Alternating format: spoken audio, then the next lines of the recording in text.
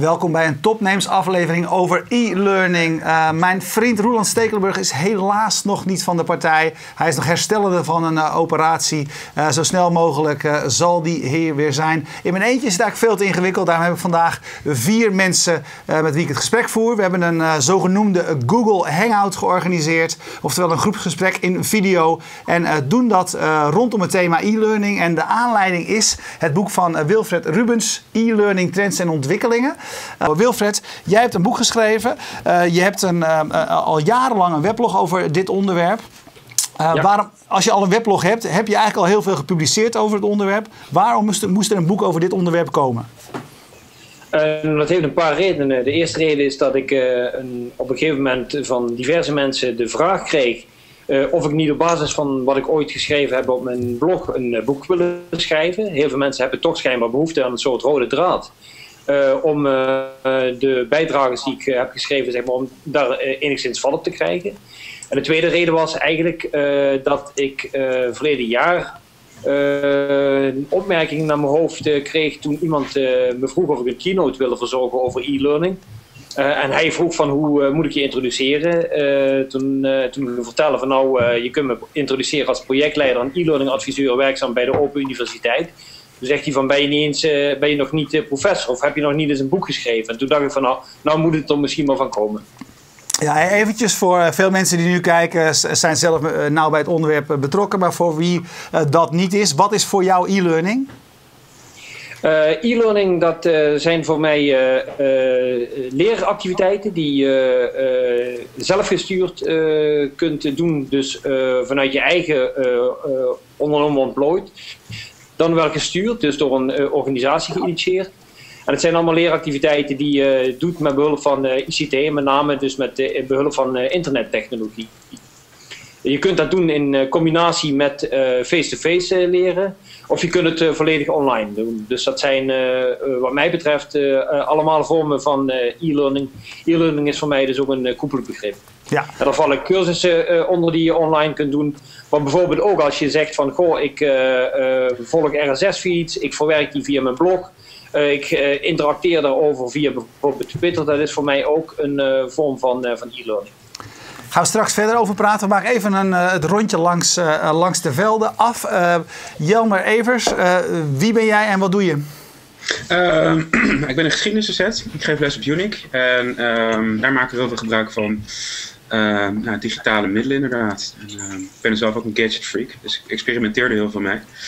Um, ja, Flip in the Classroom, gamification, dat soort dingen allemaal. Ja, en ik herinner me bijvoorbeeld, hè, de, de, eind, eh, de eindexamens zijn net gedaan, maar jij bent er druk mee, mee in de weer voor het nakijken. En ik herinner mij de avond voordat uh, VWO was het, meen ik, het VWO maar mhm. misschien was het HAVO, moet je even zeggen, maar een van, uh, van, van, de groepen, de, de avond van tevoren, volgens mij was het een zondagavond, uh, zat jij klaar voor, voor je leerlingen? Want je hebt toen volgens mij een hangout georganiseerd waarin je leerlingen nog eventjes de laatste dingen met je, met je konden doornemen. En je had een soort van top 10 van tips uh, hoe ze het beste het examen uh, in konden gaan. Ja, waarom doe je dat op zondagavond? nou ja, dat is, voor een toets af en toe. Hè. Voor een examen sowieso, maar niet, niet elke zondag hoor. Dat wordt een beetje te gek. Nee, het was een Twitter-spreker voor 3FM. Dat was voor elk vak was er een docent voor. En inderdaad, daarna had ik een hangout. En die had ik zeg maar een paar deze, zeg maar de week voor het examen. Ja, hey, en als het over uh, e-learning gaat, uh, Wilfred maakt het begrip net al heel erg breed. Hè? Hij zei eigenlijk volgens mij ongeveer van alles wat je, wat je online doet en waar je wat van opsteekt is, uh, is e-learning. Als ik aan jou vraag, waar, waar staat het begrip voor jou voor? Wat zeg jij dan? Nou, wel een beetje hetzelfde. Inderdaad, ook, uh, ook ik vind het onderscheid wel mooi dat je, dat je zegt gestuurd en ook ongestuurd. Met name zeg maar dat, je, dat, dat leerlingen of lerenden uh, ook eigenaar kunnen worden van meer, veel meer van het leerproces. Dat vind ik het meest interessant eigenlijk. Hey, uh, daar gaan we straks ook nog even uitgebreid over verder praten. Bijvoorbeeld willen ze allemaal wel eigenaar worden van dat leerproces. Maar we schakelen hm. even door naar, naar Karin Winters. Karin, ehm, wie ben jij en wat doe jij? Ik uh, ben Karin Winters en ik, uh, ik ben een onderwijsmens in hart en nieren, een edu-blogger en ik werk uh, bij KPN Consulting als onderwijsconsultant. Ook vol in het onderwijs op verschillende plaatsen. En, en ben met name geïnteresseerd in e-leren. Ik noem het in tegenstelling tot de rest van de heren e-leren, hm. niet e-learning. Um, dat is vanuit het, de MBO-gedachte gegroeid. waarom zou je het anders noemen? en ja, alles wat met online leren en, en ontwikkelen te maken heeft, dat heeft mijn interesse. En daar wil ik ja, eigenlijk uh, altijd heel veel van weten. En ik draag het ook graag uh, uit of wil het graag delen met uh, de rest van de wereld, voor zover ze dat zien. Ja, hey, en je zei nu actief als, als consultant, zelf ook actief geweest in het doseren? Uh, in doseren. En uh, ja, 15 jaar, uh, als je het hebt over e-leren, een, een, aantal jaren aan het paard Blackboard getrokken binnen een, een ROC. En op dit moment, als je het hebt over elektronische leeromgevingen, aan fronten. Dus ja, gedoseerd, maar met name docenten begeleid en getraind en geprobeerd enthousiast te maken voor het gebruik van ICT in het onderwijs. Laatste van de rondjes, Willem Kassenberg. Willem, wat doe jij? Wat doe ik, ja. Uh, ik vraag mezelf soms ook wel eens af. Nee hoor, dat is flauw. Uh, Willem Karstenberg, ik ben adviseur bij uh, Summer ICT. Dat is een overkoepelende belangenorganisatie van alle mbo-instellingen. Daarnaast doe ik ook dingen voor Kennisnet. En ik blog als trendmatcher sinds 2004. En dat blog dat staat uitdrukkelijk in het teken van, van ICT en onderwijs. Omdat ik altijd op zoek ben naar ja, trends, ontwikkelingen op internet en de manier waarop we dat uh, zouden kunnen inzetten in het onderwijs. Ik wil niet zeggen dat het altijd uh, ook gebeurt. Maar er ligt zoveel op straat en op de plank wat, wat nou ja, nu al gedaan zou kunnen worden, is mijn stokpaardje. En uh, ja, wat ik beoog is dat daar zoveel mogelijk op een goede manier gebruik van gemaakt wordt. Ja. Wel gedoseerd natuurlijk, maar ja, gebruik die dingen. Ja, hey, um, uh, we praten nu voornamelijk over uh, onderwijs in de zin van school, et cetera. Dat is prima om daar eventjes toe te beperken, want on het onderwerp is natuurlijk veel breder. Hè, want het gaat natuurlijk ook over leren in werkomgevingen, bij bedrijven, uh, et cetera. Wilfred, even terug naar jou. Um, dat hele uh, internet is, uh, is nu een jaartje of, uh, of, of, twintig aan de gang. Het begrip e-learning bestaat ook al lange tijd. En als je, als, je, als je ziet, er is een hele scope aan onderwerpen wat je kan bespreken. Dat zie je, zie je in jouw boek. Um, even generaliserend, want dat maakt het voor het begin eventjes eenvoudiger. Als we kijken naar het onderwijs. in hoe, ver, hoe ver staan we met de integratie van elektronisch leren uh, in het onderwijs? Hoe ver is dat? Um, ja, ik, ik, denk eerlijk gezegd dat. Uh, dat ah, dat is een, een, een lastig te beantwoorden vraag. Want je hebt natuurlijk verschillende uh, onderwijssoorten. ik denk eerlijk gezegd dat blended learning van voortgezet onderwijs tot en met universitair onderwijs redelijk uh, praktisch overal zeg maar, wel, wel plaatsvindt. de mate waarin zeg maar, technologie wordt gebruikt verschilt heel erg. Dat verschilt ook per school, dat verschilt vaak ook per, per docent. Um, dus dat is, dat is een hele lastige vraag om, om zo te beantwoorden. Um, in vergelijking met de begintijd, toen, toen, toen internet opkwam, is het denk ik heel geleidelijk toegenomen. Niet uh, enorm explosief, uh, niet ook heel erg snel. Dat is ook een van mijn, van mijn boodschappen, dat technologietrends, dat gaat, die vertrekken zich in een heel erg rap tempo, maar e-learning trends in een veel geleidelijker tempo. Dus ik denk eerlijk gezegd dat, dat je scholen zonder technologie, zonder e-learning bijna niet meer, voor, niet meer tegenkomt. Uh, maar uh, de verschillen zijn wel nog heel erg groot. Hey, maar eventjes nog uh, bij het begin beginnen. Waarom is dat e-learning belangrijk? Gewoon zo'n zo leraar die een prachtig verhaal voor de klas staat te vertellen. Die je, die je pakt, die je meeneemt, et cetera. Is toch geweldig? ja, ja, dat is inderdaad geweldig. Alleen er zijn heel erg weinig docenten die dat op die manier kunnen. Ehm, maar los daarvan uh, zijn er voor mij betreft een aantal redenen om uh, e-learning toe te passen. De eerste reden is dat je dankzij e-learning veel beter in staat bent om onderwijs te flexibiliseren. Dus om maatwerk te leveren, om gepersonaliseerd onderwijs mogelijk te maken. Ik denk overigens dat we wat dat betreft nog een hele lange weg te gaan hebben. Maar de mogelijkheden zijn er wel. Uh, op de tweede plaats uh, is het uh, mogelijk om ook zeg maar, met behulp van technologie een krachtige leeromgeving te realiseren. je kunt bijvoorbeeld hele effectieve leeractiviteiten met behulp van technologie vormgeven. Uh, ik denk bijvoorbeeld aan het gebruik van uh, formatieve toetsen.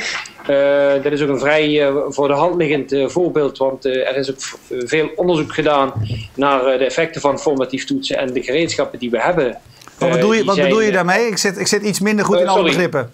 Ja, uh, nou, eh, als je het hebt over beoordelen wordt, uh, en toetsen, dan wordt heel vaak uh, eenzijdig gekeken naar zeg maar, de eindbeoordeling, hè, waar je dan een cijfer voor krijgt. Maar wat veel belangrijker is, is dat je zeer regelmatig kijkt wat leerlingen hebben begrepen, wat ze, waar ze staan op dat moment.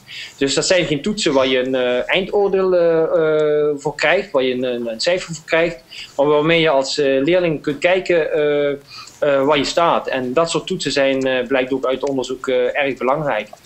Um, dus dat is een, een, voorbeeld van een, van een toepassing waardoor je die krachtige leeromgeving kunt helpen realiseren. Een ander voorbeeld is bijvoorbeeld de, het concept van de flipped classroom, zoals Jelmer dat ook toepast. Dat vind ik zelf ook een goed voorbeeld waarbij heel erg goed nagedacht wordt over hoe kunnen we nou zeg maar, de bijeenkomst uh, uh, als we bij elkaar zitten, hoe kunnen we die zeg maar, zo optimaal mogelijk gebruiken? Wat is de kracht van een bijeenkomst? Dat is met name zeg maar, dat je hem gebruikt voor interactie. Terwijl je bijvoorbeeld online video of uh, in ieder geval technologie ook op een andere manier kunt gebruiken voor, om de zaken uit te leggen. En daar, dat kun je prima met behulp van technologie ook, ook doen. Ja, Jelmer, als we het even bij jou, bij jou inderdaad neerleggen, dat de, de, de ik ga straks even aan Karin vragen hoe zij de Flip Classroom noemt, hoe ze blended learning noemt, et cetera. Zij mag straks eventjes al, die, oh, al, die, al die vertalingen eventjes uh, verzorgen. Want e-learning en e-leren, dat is dan makkelijker, maar die andere worden volgens mij nog... Uh... Flip de Classroom is niet zo moeilijk hoor, binnenste buiten leren. Oké, oké, dan hebben we die alvast uh, binnen. Hey Jelmer, maar jij, jij, jij doet dat en als ik het goed begrepen heb, houdt dat in, zeg maar, je, je, je zegt tegen leerlingen, er staan filmpjes waarin uitleggen, et cetera, over onderwerp zit, mm die staan klaar. Hè? doe dat als het ware als je huiswerk, doe dat thuis. En dan kunnen we verder uh, in de klas zeg maar, uh, de, de, de, rest van het verhaal doen. Maar dat als, als, als, als mijn uh, uitleg klopt, je houdt wel hetzelfde probleem lijkt me. Als je ze bij de lurf hebt in de klas, kan jij met een goed verhaal die aandacht erbij krijgen. Voorwaarde hiervan is wel dat ze het nog steeds even leuk vinden, jouw onderwerp, om thuis die filmpjes te gaan zitten kijken. Ja. ja, kijk, een goede docent is, nog, is offline en online even slecht of even goed. Dus ehm, je hebt ook hele slechte filmpjes uh, online van mensen die iets uitleggen over flipping the classroom. Um, dus dat, je moet gewoon didactisch gewoon heel goed zijn. Je moet gewoon een goed verhaal hebben. En uh, het is ook echt niet zo dat je geen, geen en ik las net ook bij Kennisnet, dat je dan ineens geen verhaal meer hebt of zo. Ik heb afgelopen, vorige week vrijdag met 5V heb ik bij, ben ik heel erg lang aan het woord geweest. Op hun verzoek ook. Ze waren ook een beetje, van een schoolfeest gehad. Daar lag het ook aan. maar uh, dat is, uh, nee maar goed, je, je, je, je hebt gewoon altijd heel, een heel grote gereedschapskist. En dit is er één van.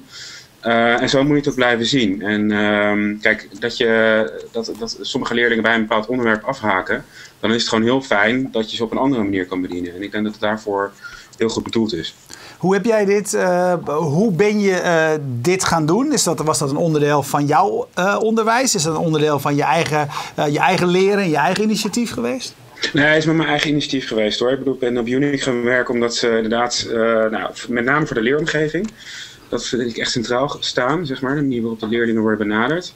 En um, ja, ik liep mij vorige school erg aan tegen, tegen nou ja, dat, je, dat je een klaslokaal moest boeken voor computers.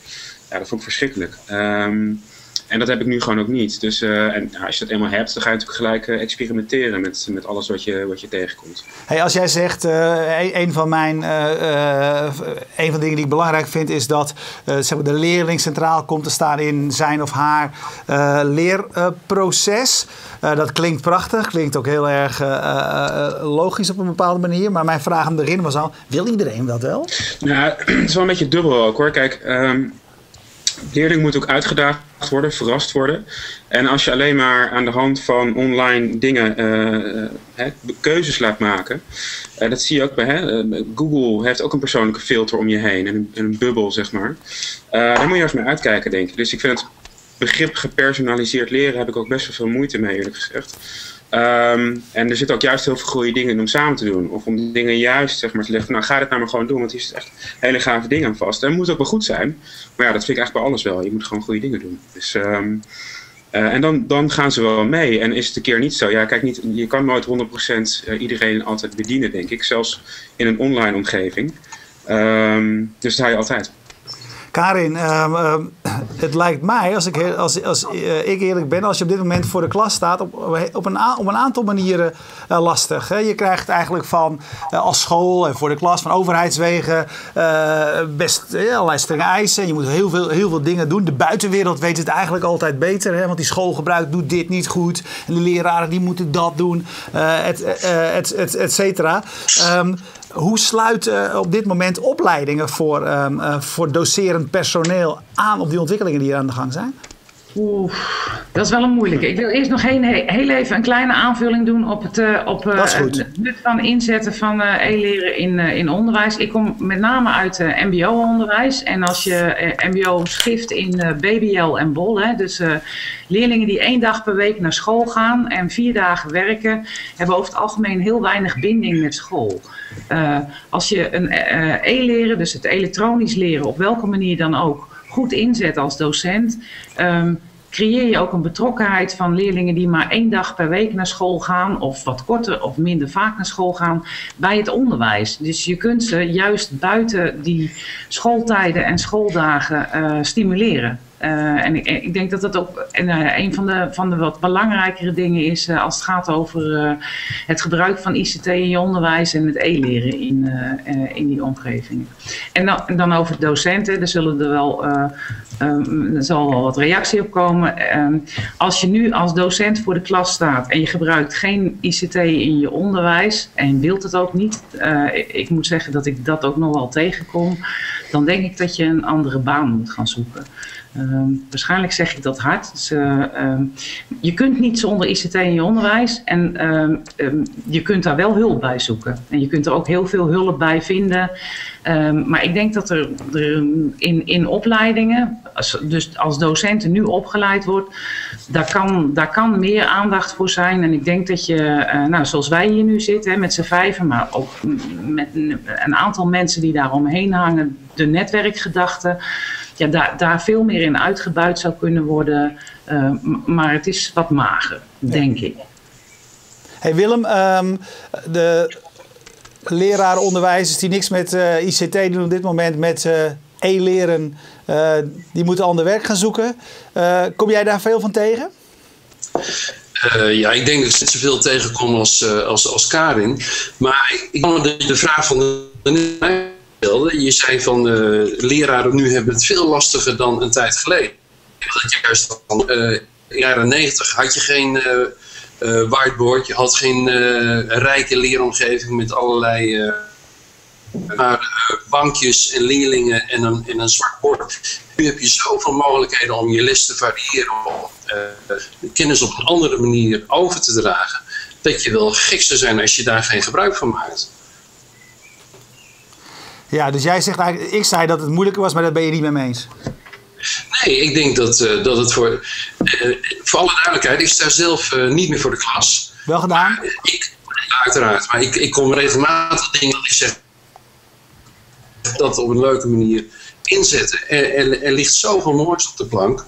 En ehm, ja, wat Karin zegt, een, een docent die hier geen gebruik van wil maken, wat mij altijd verbaast is dat ze wel in staat zijn om uh, geld over te boeken en uh, vakantie te boeken via internet. dus um, het valt eigenlijk best wel mee. Dus vooral uh, denk ik. Ja.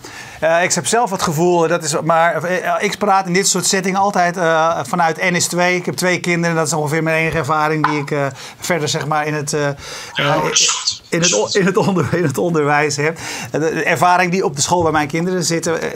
en, en ik denk dat, dat het ook vaak uit een, uit een vorm van onzekerheid komt, omdat ze het gevoel hebben dat kinderen zeg maar, bepaalde spullen en technieken beter beheren. En ik denk altijd, draait gewoon om. Jullie deskundigheid is kennis overbrengen, jullie deskundigheid is het onderwerp, et cetera. Of, of de groep enthousiasmeren. En zeg juist gewoon, joh, jullie weten beter wellicht. Hè, want of dat zo is, is namelijk maar de vraag. Maar jullie denken misschien dat je het beter weet. Hoe kunnen we die techniek inzetten om informatie over X of Y te vinden? Hoe kunnen we die techniek inzetten uh, om uh, uh, nou ja, waarheid van onzin te onderscheiden, et cetera? Is er, denk, zit er, klopt, klopt mijn idee dat er ook een vorm van onzekerheid in zit? Dat, dat, denk ik wel. Ja, dat, en dat is ook wat je tegenkomt. Van, de angst van dat komt er allemaal over bij doen. Mijn antwoord is dan altijd van nee, je moet dingen anders gaan doen en andere dingen laten zitten. Dus in de plaats van. Uh, het grappige is, als we kijken naar het boek van Wilfred, hè, wat de aanleiding was voor deze uitzending, uh, dan is die rol van de leraar. Uh, ik ben wel benieuwd hoe Wilfred daar tegenaan kijkt. Want nou, ik vind het een beetje. Ja, ik vind het goed dat je mijn rol even overneemt. Wilfred, het woord is aan jou. ja.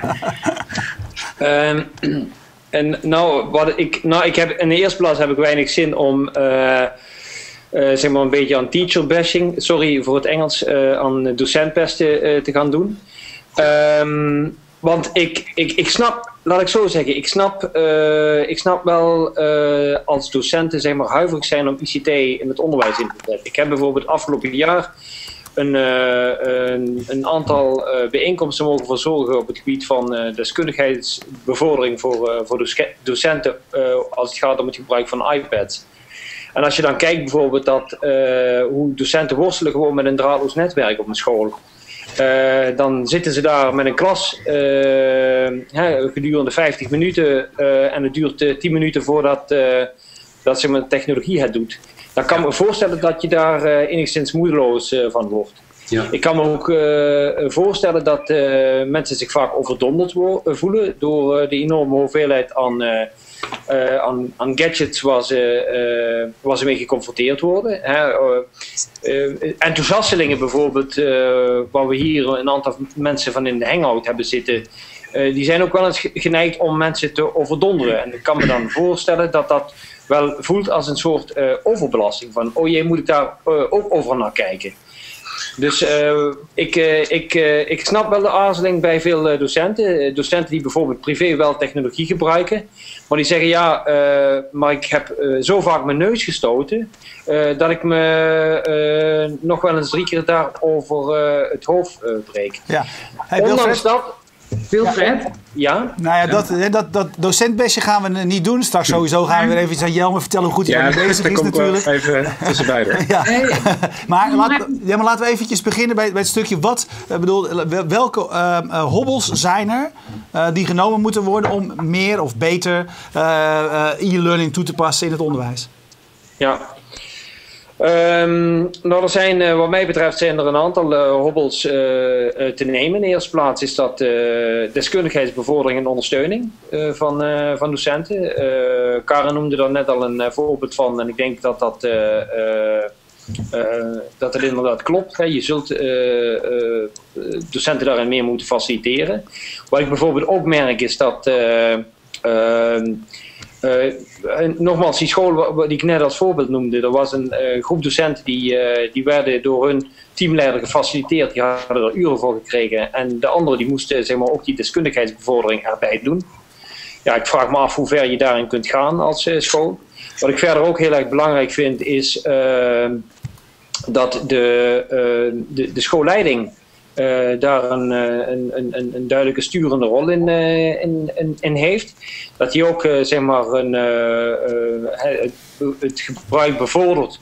En bijvoorbeeld ook niet alleen zeg maar, in woorden zegt dat ze ICT in het onderwijs belangrijk vinden, maar dat ze dat ook, eh, dat ze ook de, de, de daad bij het woord voegen. Ik merk dat, dat dat ook nog wel eens vaak tegenvalt. Eh, bijvoorbeeld studiedagen die dan geopend worden door een directeur. eh, en vervolgens zegt die directeur: Helaas heb ik geen tijd verder om eh, erbij te blijven. want ik heb een belangrijke vergadering. Waarmee die impliciet, impliciet volgens mij aangeeft: Ja, zo belangrijk vind ik het systeem het onderwijs dus niet. Dus dat zijn wel een aantal voorbeelden. En daarnaast nog steeds heel bazaal. de technische randvoorwaarden die, die nog lang niet altijd optimaal zijn, of zelfs goed of voldoende zijn eh, bij, eh, bij scholen. Eh, en dan hebben we niet alleen zeg maar, vaak over het draadloos netwerk, maar ook over de apparatuur. Of bijvoorbeeld ook over eh, bepaalde eh, ruimtes. Ik heb bijvoorbeeld meegemaakt eh, een, een school eh, waar ze een, eh, een ruimte hadden waar docenten moesten werken met eh, computers met eh, leerlingen. En die docenten die hadden daar vanwege de opstelling eh volstrekt geen zicht op wat die leerlingen deden. Ehm, dan, eh, dan vraag je volgens mij om, om problemen. Dus er zijn wat dat betreft nog wel wat zaken te doen binnen, binnen scholen ook om technologie in te bedden. Ja, Jelmer, op jouw school? Sorry Karin, wie was, wie was er aan het woord? Ik, ik, wil even wat zeggen. Ja, Karin, Karin krijgt het woord. Ah, ik gooi gewoon Willem eruit. Uh, Wilfred, als je het hebt over e-leren en over uh, dat wat je tijd en plaats onafhankelijk kunt doen, dan uh, hoef je in, niet in school te zitten om met, met de PC's van school aan de slag te gaan. Ja, wat wat ik zelf wat lastig vind, is dat ehm, uh, we hebben weer met z'n allen een nieuwe tablet uh, variant, uh, zonder merken te noemen. Dus we gaan met z'n allen in school achter een tablet zitten. En ik denk dat ja. dat nou ja, de middeldoeldiscussie zou zijn. Hè? Juist de inzet van, van een goede variant van, van e-learning en digitale didactiek. Ehm, maakt juist dat, dat studenten en leerlingen buitenschool uh, kunnen leren en, ja. en dat je dat kunt volgen. Dus ja. dat hoeft niet per se in de klas. Mag daar nee, dat ben, ik heel, dat ben ik helemaal met je eens. Dat ben ik helemaal met je eens. Dat vind ik juist ook het interessante aan bijvoorbeeld dat flip classroom concept. Waarbij je zegt van ja, uh, je gebruikt de groepsbijeenkomsten, daar waar de groepsbijeenkomsten uh, goed in zijn. Ik heb ook wel uh, lessen meegemaakt waarin leerlingen driekwart van de tijd achter een laptop zitten. Dat denk ik, vind ik eigenlijk gewoon zonde van de tijd. Dat kun je op andere manieren zou je dat moeten doen. Dus wat dat betreft heb je inderdaad gelijk. Je, maar uh, je ziet aan de andere kant uh, ook uh, dat uh, daar dat toch vaak gestuurd wordt zeg maar, op het gebruik van ICT in de les. En ik ben er helemaal niet tegen. Sterker, ik, er zijn hele goede voorbeelden van om, om dat te doen. Um, maar ik kan me voorstellen dat als je ICT in het onderwijs inzet, dat je veel selectiever bent en dat je veel beter ook nadenkt over hoe zet ik ICT zeg maar, ja, als thuisleren in. Uh, en hoe zet je ICT in als. Uh, uh, en hoe zet je.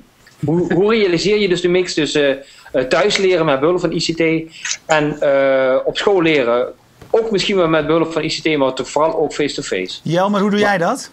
Nou, ik wil even, inderdaad wel even een paar opmerkingen maken hoor. Kijk, wat veel docenten uh, hebben ook, is van ja, waarom doen we dit eigenlijk? En uh, zeg maar, de visie van je school uh, scholen weten zelf vaak niet eens waarom ze onderwijs aanbieden. Hè? Dus op een gegeven moment het alleen maar voor een diploma.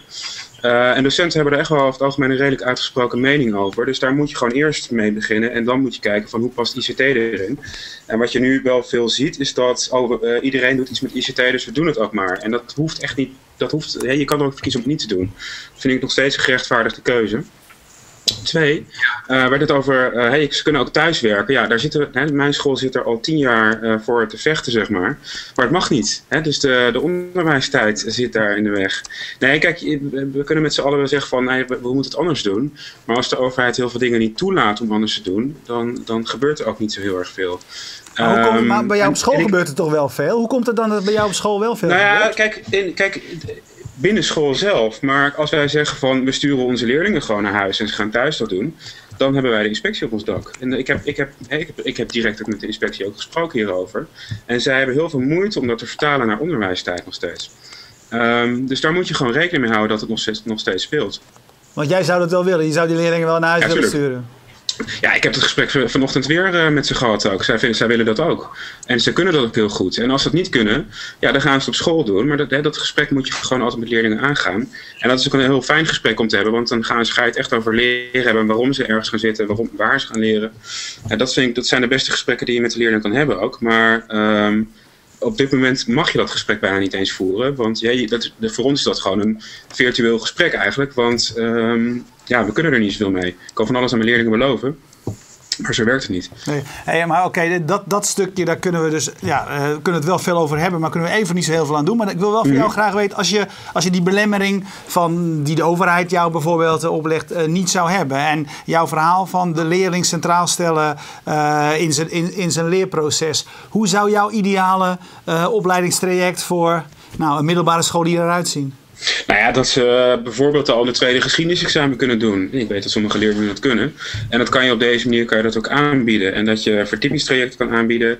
Dat ze er ook zelf voor, kiezen om inderdaad thuis te gaan werken. dat school ook veel meer een, um, nou ja, moeilijk om te schrijven, maar een flexibele werkplek. Ik heb daar allemaal beelden bij in ieder geval. Ik zou ook wel willen dat het op die manier zou kunnen. En het is ook wel een beetje leeftijdsgebonden en wat ouders daarvan vinden. Kijk, um, ik snap ook wel dat, dat, dat ouders niet willen dat, je, dat hun kinderen overal maar zomaar zijn als zij niet thuis zijn. Zeker als ze wat jonger zijn. Ja, bedoelt dus de, school, de school als kinderopvang? Nou ja, maar dat is het toch ook een beetje. Ja, dat, uh, dat, vinden, we, dat vinden we allemaal. Maar kijk, er is een heel groot... Kijk, een 6 VWO-leerling, een 5 HAVO, ook vanaf, sowieso vanaf de tweede fase... kunnen echt hele goede keuzes maken op, in hun leerproces. Uh, en als ze dat niet kunnen, ja, dan komen ze maar naar school. Weet je, dat kan je dan ook eisen. Dus... Uh, en dus dat hele flexibele, dat, dat, dat was hiervoor niet mogelijk. En dat, dat kan nu veel makkelijker. En uh, ja, ik, ik, heb met mijn leerling ook in een hangout gezeten. We zaten op zondag in het weekend zaten, zaten we met z'n vijftien en heel veel mensen in de livestream daarna zaten we, zaten, waren we met, met geschiedenis bezig. Ja, waarom zou dat niet kunnen? Dat is een hele, hele goede kwalitatief goede onderwijstijd. Ja. Hey Willem, um, als ik uh, even een vraag naar jou. Als ik, als ik je kort sluit, dan komt dat omdat jij, ja, je microfoontje zeg maar, is toch nog een beetje suboptimaal. Af en toe kom je goed door en af en toe uh, klink je als een oude transistorradio uit 1953. Nou, heeft dat, ook, heeft, dat, heeft dat ook zijn charmes, maar... ik ben uit 52, dus wat dat betreft. ja. um, als jij, als jij vanuit jouw persoonlijke ervaring, gecombineerd met wat je, wat je nu doet, kijk, als ik jou diezelfde vraag stel, als we even geen last uh, hebben hadden van wat de buitenwereld uh, aan eisen stelt, hoe, hoe ziet jouw ideale school, schooltraject eruit voor middelbare school? Hou ik het eventjes bij. Ja, een gezonde mix, een goede mix. De, wat, ik, wat ik eerder vanavond gehoord heb, en dat, dat onderschrijf ik. Er is niks mis met een leraar die gewoon een uur lang eh, heel boeiend eh, eh, weet te vertellen over zijn vak. die moet dat vooral blijven doen. Alleen hij kan, dat wat hij doet, kan hij verrijken door, door daar iets extra's aan toe te voegen. Ehm, ik weet niet wie van ons dat zei. het is niet veel leraren gegeven om, om dat vol te houden, om dat te kunnen. Dus dat is ook niet de, de reële situatie. Ehm, ik denk aan, aan een mix van, van lesgeven ehm, en ja, niet alleen lesgeven. De lestijd die kun je ook op een heel andere manier besteden met je leerlingen als docent. Uh, doordat je ze andere dingen laat doen. En dan kom ik op het uh, Flip de Klas verhaal waar Jelme veel meer ervaring mee, heeft. Uh, het is dus absoluut niet zo, voor alle duidelijkheid, dat ik denk dat we hiermee de docent overbodig maken of zo. dat is op geen enkele manier het geval en de bedoeling. Uh, wat, ik, wat ik in het begin al zei, hij heeft veel meer tools in handen dan hij eigenlijk uh, weet in zijn jeugdlederen tas. Geef daar, geef daar eens even geef, geef daar eens voorbeelden van. Uh, ja, er staat een boek vol met 200 voorbeelden, boek 2.0, waarvan wij de 20 vaak be, als voorbeeld gebruiken in, uh, in workshops met docenten. En voor die docenten gaat dan een wereld open. Ik noem een simpele tool als Mentimeter, waarmee je de leerlingen via hun telefoontje uh, een vraag kunt laten beantwoorden of een quiz kunt laten doen. Uh, op ik heb gisteren nog een groep docenten daarmee kennis laten maken. En ja, ze waren helemaal verbaasd van, kan dat nu? En als je dan vraagt, hebben jullie leerlingen een telefoontje? Dan hebben ze dat allemaal. Dus dat is het probleem niet meer. Nee. Um, dat is het probleem niet meer. Uh, Wilfred, jij uh, hebt je boek uh, voor een bewust. Wat je met je boek wilt, is zeg maar eh, dit, dit, onderwerp toegankelijker maken voor, eh, voor een grote groep die je niet dagelijks mee, mee bezig is. Heb, heb, je het ook, ook zeg maar, geschreven voor de leidingen van scholen? Want ik denk altijd, als je bij verandering hoort, wat mij betreft, eigenlijk een combinatie van visie, visie aan de top en ruimte geven onderaan waar mensen dingen kunnen proberen en fouten kunnen maken en onderweg kunnen leren, zeg maar. Um, uh, uh, heeft, heeft de top nog een lange weg te gaan? Um, ja, dat denk ik zeker. Uh, tijdens de presentatie afgelopen zaterdag kwam die vraag ook naar voren. En ik heb, hem inderdaad, ik heb het boek inderdaad medegeschreven omdat ik me besef dat beslissers, leidinggevenden binnen organisaties, dat die lang niet altijd de tijd uh, nemen, CQ hebben, uh, om blogs te volgen. en hè, ze willen wel bijgepraat worden en daarom heb ik dit boek geschreven. Ik kreeg alleen ook de opmerking afgelopen zaterdag, ja maar lezen beslissers wel boeken. moet je ze niet letterlijk bijpraten. Dus moet je niet sessies organiseren rondom dat, dat boek. Nou, dat is iets wat ik Uh, wat, ik, maar, uh, wat ik misschien nog wel ga, ga, organiseren als ik daar de tijd voor vind. Maar dat is inderdaad wel mijn bedoeling om ook zeg maar, beslissers te kijken of, hè, of, of, zij, of ik hun met behulp van het boek wat beter kan, kan toerusten op wat er speelt op het gebied van, van e-learning.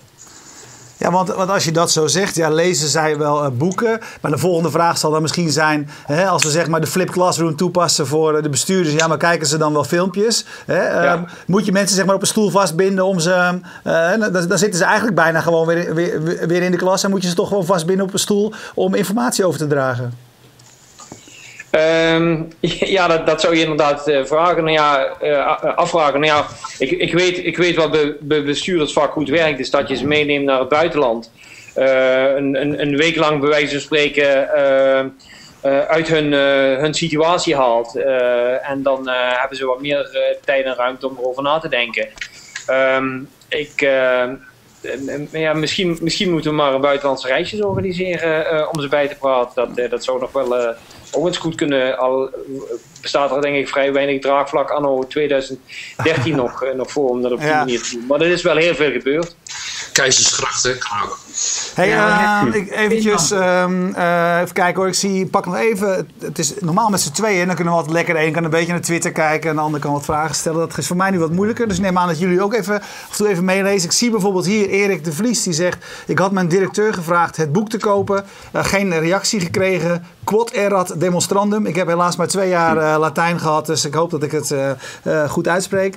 Ehm, dingen die ik hoor bij FMT zijn voor mij helemaal niet nieuw, zegt meneer uh, Fanold. Toch voor veel collega's wel. En dat moet ik me goed realiseren. Ik zelf heb dat gevoel wel eens. Hè, dat de mensen die, uh, die, die, die bezig zijn met de nieuwe middelen, de nieuwe technieken, de nieuwe communicatievormen, elkaar heel snel informeren. Uh, en we ook een beetje onze eigen werkelijkheid creëren. En dat, ik heb soms wel het idee dat het gat tussen die groep en de groep erachter eerder groter dan kleiner wordt. Wat denk jij daarvan, Willem? Ja, dat is, ik vind dat een lastige. Um, we willen niet gebashen, nog naar, naar docenten toe, nog naar besturen toe, nog naar organisaties toe. Maar ergens moeten we toch iets, uh, het punt neerleggen dat er veel meer zou kunnen gebeuren dan nu het geval is. Je begon deze avond met de vraag, uh, Wilfred, hoe ver staan we als het gaat om e-learning? Uh, je kunt de vraag stellen, hoeveel verder willen we eigenlijk gaan? Hoe, hoe, ver willen we hiermee gaan? Of willen we vasthouden aan de manier van lesgeven uh, zoals dat uh, door heel veel docenten nog gedaan wordt? Ja, ik zie wel Jelmer breed uitlachen. Ik weet niet of hij dat doet door de tweets die voorbij ja, ik, ik heb een gevoel dat ik weet waarom het eerste zegt hier. Arjan van der Meij zegt, reageer even Jelmer. Niet nog meer buitenlandse lijstjes voor bestuurders. Oké. Okay. En terecht. Ja, nou, dat, ja, ik geloof dat daar het geld niet heen hoeft te gaan. Uh, we hebben in de Volkskrant uh, weer een heel mooi voorbeeld uh, gelezen afgelopen weekend. Ik denk dat we daar geen woorden aan vuil hoeven te maken.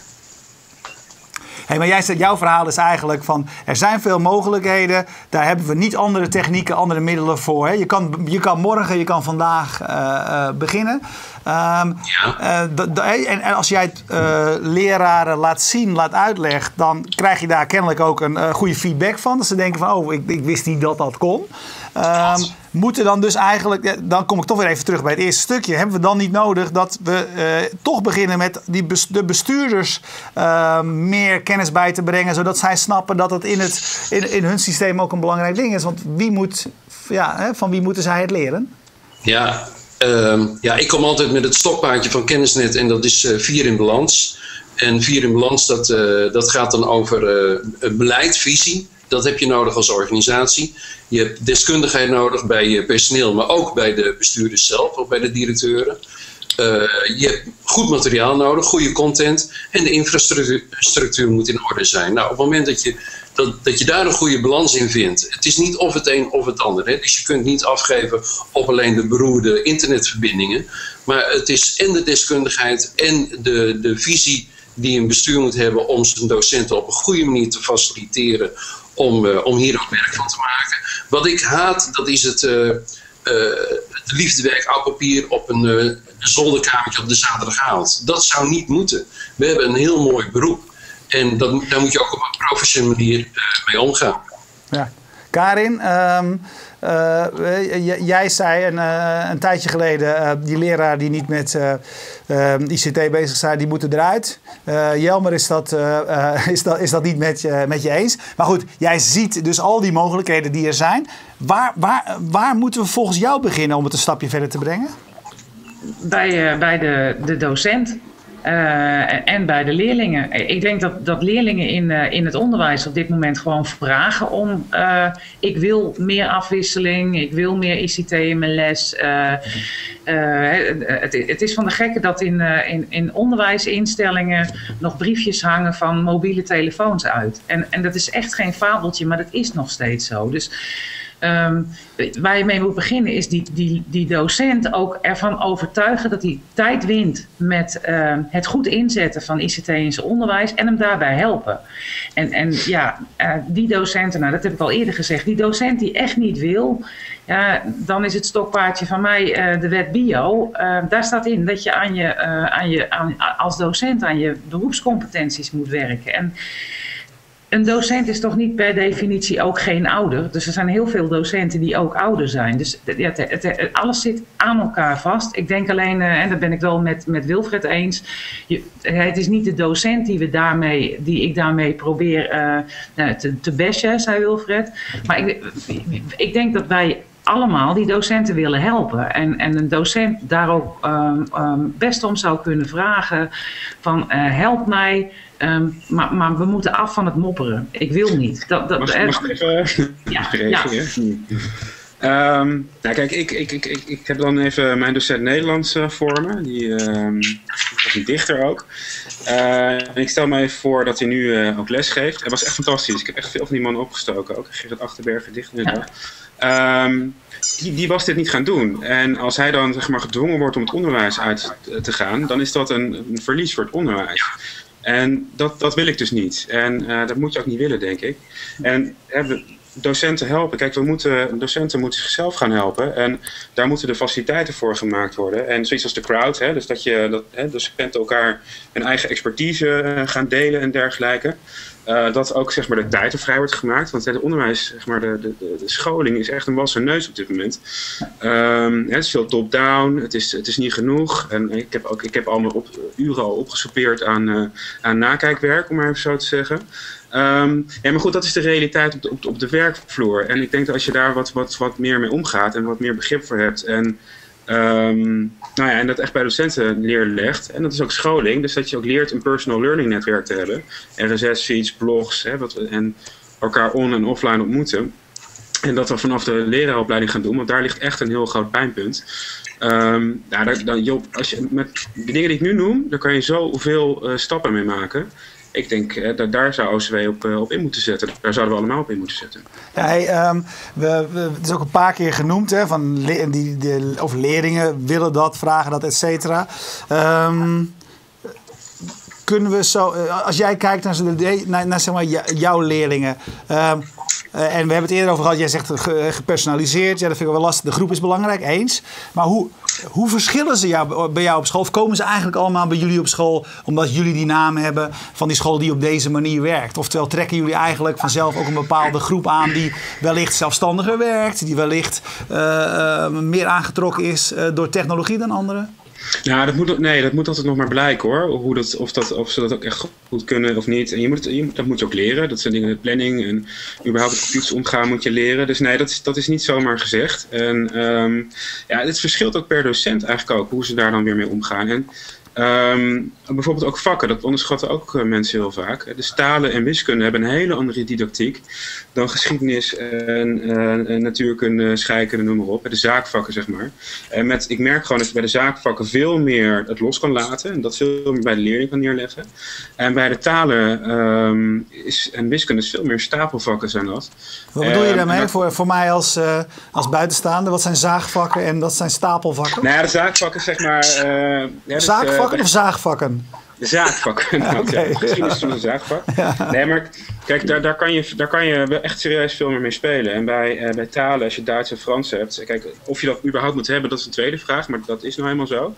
Um, en daar komt er een hele andere didactiek bij kijken. En hè, daar, daar zit een soort van, je, je, je, kan, je moet steeds een stapje hoger gaan.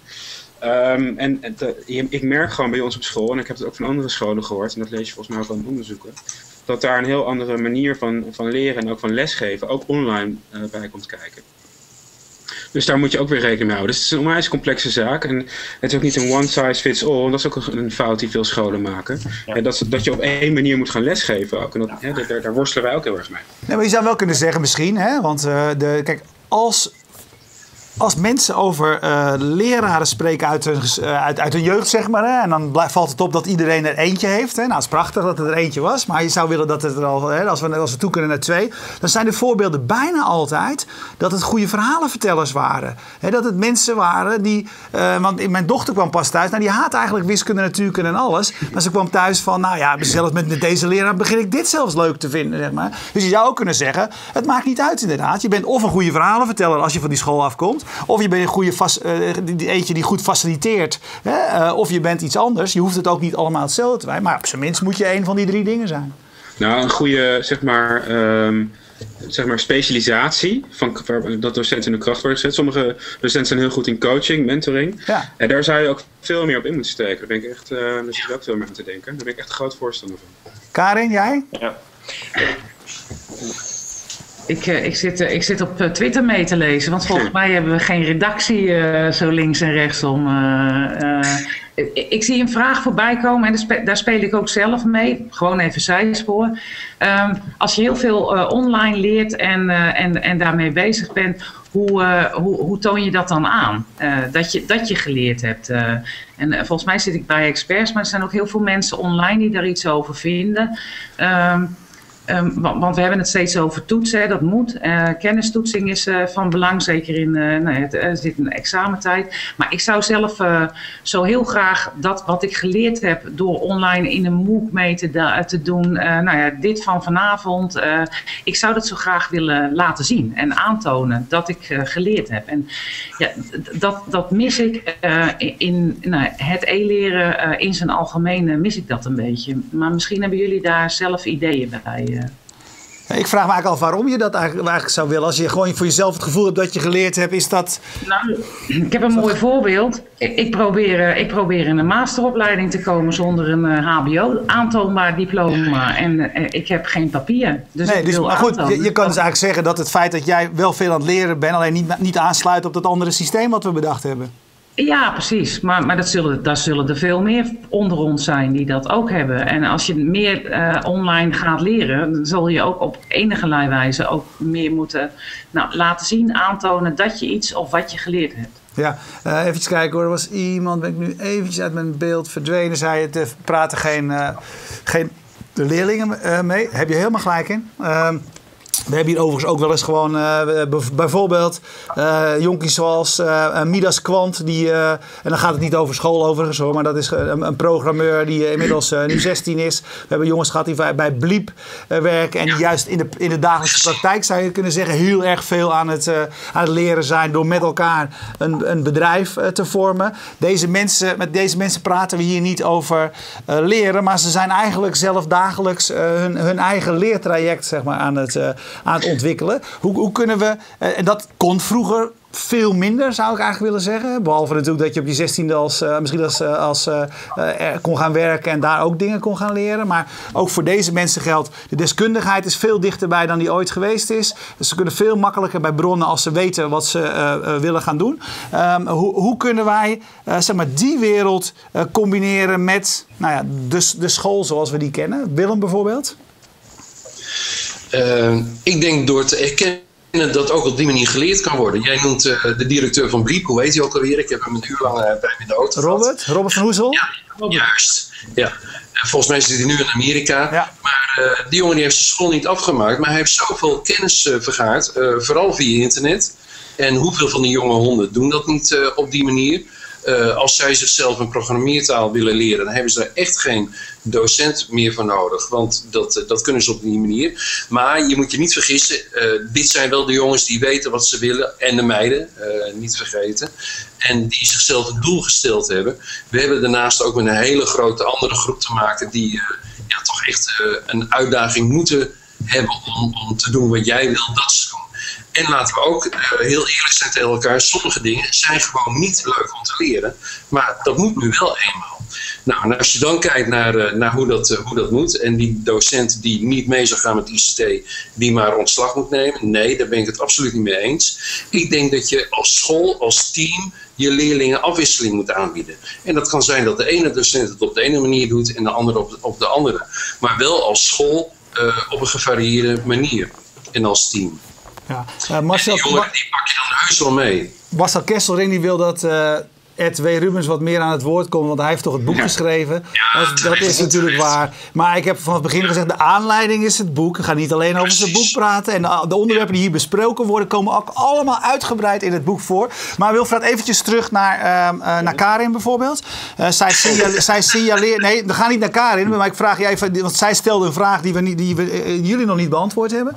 Um, ja, hoe, en eigenlijk uh, ging, ging, dat uh, ook met, met Willem daar een beetje over. Als we op steeds meer manieren, op steeds meer plekken leren. En het kennelijk belangrijk is, op, als je op andere plekken aankomt, dat je dat kan aantonen, kan doen. Uh, ja, wat, kunnen we daarmee doen? Hoe moeilijk is dat? Um, nou, om het. A, het is ingewikkeld om het. nou, ingewikkeld. het kan zichtbaar gemaakt worden. Hè. Je hebt bijvoorbeeld social activity streams. Uh, wat je doet binnen sociale media, wat je daar leert. Uh, er zijn uh, technologieën die mogelijk maken om dat zichtbaar te maken. Maar wat veel ingewikkelder is, is het valideren daarvan. dus dat inderdaad, zoals Willem net ook al aangaf, dat gewaardeerd wordt dat bijvoorbeeld zelfsturend leren uh, dat dat meetelt. Dat uh, ervaringen die iemand als Karen Winters heeft opgedaan, expertise die ze heeft ontwikkeld via haar werk, door zeg maar zelfsturend te leren, dat dat bij wijze van spreken gewaardeerd wordt door toegang te krijgen tot een masteropleiding. Dat, ehm, dat zijn twee dingen. Dus het, het, zichtbaar maken van die leerervaringen, dat kan. Maar het valideren, dat, dat vraagt wat mij betreft, vraagt dat ook systeemverandering. Uh, ik heb dat zelf laatst ook bijvoorbeeld intern aan de hand gehad. Uh, toen ik uh, uh, ook zeg maar. Ehm, toen had ik met, met collega's de discussie over toegang tot de masteropleiding van, van de Open Universiteit Onderwijswetenschappen. En, maar er wordt gezegd van ja, wij hebben te maken ook met accreditatie, hè, met allerlei commissies die daar op toekijken, die kwaliteitscriteria hanteren. En dat is niet altijd meer van deze tijd. Uh, maar daar heb je als organisatie wel mee te maken. Uh, dus ik denk dat wat dat betreft er ook nog wel wat uh, belemmeringen zijn, zijn weg te nemen. En dat het echt erkennen en waarderen van leren dat je bijvoorbeeld zelf doet, hè, het zelfsturend leren. daar moet op dat terrein moet nog wel het een en ander gebeuren. Ja. ja Jeroen Clemens die zegt een werkgever wil zien dat wat iemand kan. niet welke ja. cijfers hij heeft, ja, ik heb gezegd, nadat ik van school afgekomen heb, nooit iemand in mijn leven eigenlijk gevraagd uh, of, ik een, of ik een diploma kon laten zien. Maar... Ja, misschien is het geen vraag, maar. Ja, kijk, nee, nee dat, dat, dat klopt. Uh, wat, het, het, gaat, het gaat inderdaad erom dat, dat je zichtbaar kunt maken wat je kunt. Maar ik weet ook dat als je bijvoorbeeld hebt over een elektronisch portfolio. dat werkgevers lang niet altijd de tijd hebben of nemen uh, om daar naar te kijken. Um, en heel vaak dan toch afgaan ook op uh, reputatie of op uh, verhalen over wat iemand doet. Dus dat, dat is ook wel een lastig. Kijk, je kunt bijvoorbeeld zeggen dat een elektronisch portfolio heel erg belangrijk is. En ik zie daar zeker ook de waarde van, van in. Maar aan de andere kant, als dat zeg maar een enorm dossier is, dan kijkt er niemand naar. Uh, even kijken, eh, Jelmer, uh, we, we, hebben die, uh, die leerling niet, niet, aan tafel, dus we moeten jou maar, maar geloven. Hè? Jij, spreekt ze, jij spreekt ze dagelijks. Ehm, hebben zij erg moeten wennen of vonden ze het onmiddellijk leuk? Zoiets als, als die flip classroom of de omgekeerde klas? Um, nou, soms wel, soms niet. Ja, soms werkt het ehm, ik heb dit jaar een klas gehad waar het uh, beter mee werkte dan met een andere klas. En dat heeft te maken met groepsdynamiek um, en waar leerlingen ook uh, behoefte aan hebben. Ook. Um, en da daar moet je gewoon steeds een keuze in maken ook. Hè? En die, sommige, ik heb net ook een groep die, die wilde graag weer uh, wat uitgelegd krijgen. En dat is dan een, een onderwijs-leergesprek. Ja, dat zijn gewoon constant afwegingen die je maakt. Maar op de achtergrond speelt wel altijd, is echt maar die online omgeving er. Ehm, en daar wordt ook geleerd. Hè? Dus het is constant, uh, zit je in de ene stroom, dan weer in de andere stroom. En daar moet je dus als docent constant op, uh, op kunnen balanceren. Dus, uh, en dat is altijd even leuk vinden. Nee, sommige leerlingen willen heel graag uit een boek leren. Helemaal niet. En er zijn ook, ik heb een interview gedaan met Lax. Um, en daar, daar, nou, ze vonden niet leuk dat een mobieltje werden ingenomen, maar ze vonden de, de, discipline die eruit voortkwam, vonden ze wel fijn, want er was stil in de klas en er werd geleerd. Ja, die, die mening heb je ook. Dus, um, dus dat is heel divers. Maar goed, jij zegt aan de ene kant uh, dat de, de, dus de klaservaring blijft belangrijk. En, en misschien is het niet helemaal gepersonaliseerd. Maar eigenlijk zeg je wel, elke klas is anders. Binnen die klas zijn ze allemaal weer anders. Dus, mm -hmm. dus vanuit jouw functie moet je zowel je, je oude rol kunnen aannemen van, van ja. klassiek docent. Als, als, als een nieuwe rol van een docent die uh, faciliteert en begeleidt en coacht. Ja, absoluut. Ja, dat, kijk, eigenlijk, ik vind eigenlijk dat je dat altijd al had moeten doen. Uh, als docent. dat heeft ook te maken met, uh, met, met pedagogiek, denk ik. Uh, en als je alleen maar klassikaal bezig bent, ja, dan, dan maak je ook, vind ik, hele verkeerde onderwijskundige keuzes ook. Dat moet je niet doen. Ja. Ja. ja. Hey, mag, mag, ik daar nog wat, ja, mag ik daar nog wat op zeggen? Natuurlijk, absoluut. Ja, we, gaan het, we gaan wel het ja. laatste rondje in, maar het woord is aan jou. Ja, Nee, wat, een, een, paar opmerkingen. Gepersonaliseerd leren, dat is wat mij betreft uh, niet individueel leren. Daarom maakt het onderscheid. Dus samenwerken leren maakt er wel degelijk deel van, uh, van uit. Ik vind het ook heel erg belangrijk. Op de tweede plaats, ehm, een docent die kan nog zo briljant zijn in het vertellen. als hij een uur lang aan het woord is, dan haakt zelfs de meest geboeide leerling haakt dan af. Dus die zal ook altijd moeten, moeten afwisselen Um, en ik ben het inderdaad ook mee eens dat uh, je best wel wat mag vragen, mag, mag eisen van leerlingen en, uh, leerlingen en studenten. Uh, ook mag vragen dingen te doen waar ze misschien niet zo heel erg veel zin in, in hebben. Dus dat, daar ben ik ook wel, wel eens. En ik denk inderdaad dat je niet alle leerlingen met alles zeg maar, kunt, kunt bedienen. Ehm, je zult inderdaad uh, ook moeten accepteren dat je bij wijze van spreken uh, uh, maar 80% het altijd naar, naar een zin kunt, kunt maken. En dat je nooit zeg maar, de volle 100% erbij kunt, kunt betrekken. Dus, en dat zal ook de meest briljante docenten niet kunnen, denk ik. Willem, laatste rondje. als er één punt is wat jij in dit uur hebt gemaakt of had willen maken, wat is het dan? Och, lastig. Ja, volgens mij, het punt wat, wat ik ondertussen stiekem met een oog zit te maken, is alle reacties die we krijgen uit het land via, via Twitter. Dat vind ik echt geweldig binnen dit medium. Een stukje e-learning in de praktijk eigenlijk. daarmee zie je dat de les zoveel rijker kan zijn dan wij met elkaar kunnen, kunnen bedenken. Uh, dus volgens mij maken we met elkaar ons punt. Uh, we bewijzen onszelf dat leren voor een groot gedeelte elektrisch kan. Ja, ik zie bijvoorbeeld Erik de, de Vlies, oftewel Ed de Vlies, die zegt: Wil je alle tweets eens nalezen met onderling verbanden? Nou, dan, dan dus kijk eventjes, er staat daar een URL genoemd wat ik hier nu niet helemaal kan, kan voorlezen.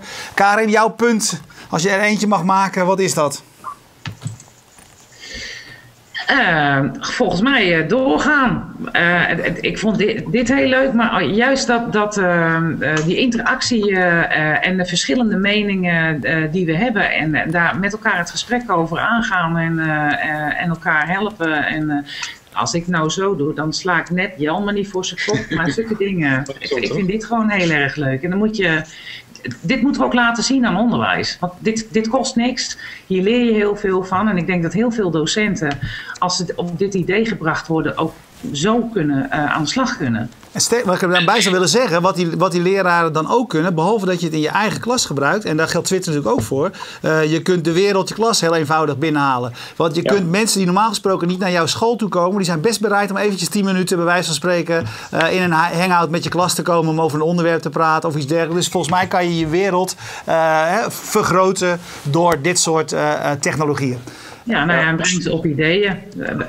door die ideeën te delen. Ja, Jelmer? Dat, uh, dat wordt, dat, uh, wat jij net noemt, het doorbreken van de muur van de school, dat wordt uh, een van de pijlers van digitale didactiek genoemd. Oké, okay, ja. mooi. En Jelmer, jouw punt? Nou ja, dat, dat, dat, zeg maar, dat, dat het onwijs gaaf is om het onderwijs te werken. En dat moet je ook laten zien, denk ik. En uh, kijk, iedereen, en het lifelong learning, dat is wel een beetje doodgeslagen, maar daar gaat het volgens mij wel om. En dat het allemaal om het leren zelf. En uh, dat maakt dat e-learning maakt dat mogelijk. En volgens mij moet je die discussie gewoon gaan voeren en gewoon lekker dingen doen. En dan komt het allemaal wel goed. Daar ben ik echt van overtuigd. Oké, okay, hartstikke, hartstikke goed. Bedankt. Hou die spirit erin. Uh, dat is een hele belangrijke. Want het risico wat je altijd hebt is als je zeg maar, jij zit op een school waar het gebeurt, maar ik spreek ook wel met mensen die zichzelf als een beetje de eenling of, uh, of maar er maar heel weinig zijn in school. Het is wel heel belangrijk dat die mensen natuurlijk ook hun ding blijven doen en niet gefrustreerd raken uh, door organisaties, et cetera. Maar, uh, maar, goed, jij bent een mooi voorbeeld en er zijn er veel van en die proberen we ook later eh, absoluut nog bij Fast Moving Targets te laten zien. ik heb al een aantal mensen gezien die het boek van Wilfred Rubens e-learning trends en ontwikkelingen hebben gekocht. Sommigen die de e-boekversie kochten, hadden ook natuurlijk daardoor al onmiddellijk binnen. Kan ook allemaal tijdens, uh, tijdens zo'n uitzending. Dus uh, is het een onderwerp wat je interesseert? Een mooie uh, overview van ontwikkelingen die spelen, trends die er zijn. en met zowel enthousiasme als hier en daar een kanttekening dat de wereld niet zo hard gaat als wij soms wel zouden willen. ik dank jullie allemaal voor het kijken. Deze uitzending komt later vanavond al via het YouTube-kanaal dat we hebben online en zal later uitgewerkt ook nog op de site eh, te zien zijn. Normaal gesproken hebben we ook een, een, een jongen die maakt samenvattingen. Dat wil ik nog eventjes vertellen. Want als je het over leren hebt, is dat een interessant verhaal. Uh, Thierry van Remortel die heeft bij ons stage gelopen. En tijdens zijn stage uh, maakt hij een samenvatting van vijf minuten van deze topnames-uitzending. En, en, geloof mij, dat is een, een heidenskarwei. Uh, en hij doet dat nog steeds. Zijn stage is al heel lang achter de rug. En waarom doet hij dat nog steeds? Hij zegt, door dat maken van die samenvattingen heb ik eigenlijk... Hij zit op HBO hier ergens in Amsterdam. Heb ik over dit terrein eigenlijk meer geleerd dan ik op de school eigenlijk ooit zou kunnen leren. Waarom? Uh, A, er zitten hier veel mensen die, die ervaring op bepaalde onderwerpen hebben. Als je een samenvatting uh, wil maken, zul je toch eerst een half uurtje heel goed naar moeten luisteren. Moet je de materie tot je nemen. Moet je de belangrijke uh, punten leren onderscheiden van de onbelangrijke. En zo leert hij iedere week door twee samenvattingen te maken van de topnemers die wij normaal gesproken doen. En ik wens hem hierbij heel veel succes met een samenvatting van vijf minuten maken van deze uitzending. Dank jullie allemaal voor het kijken. Jo, graag gedaan. Dankjewel. Hoi. Goeie reclame, Willem.